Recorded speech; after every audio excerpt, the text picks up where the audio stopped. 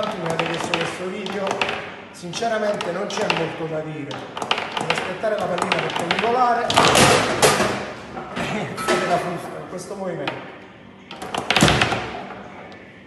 Così. Comunque il mio consiglio è di fare un buon palleggio e dallo stesso punto fare due tiri. Il portiere non deve capire cosa fa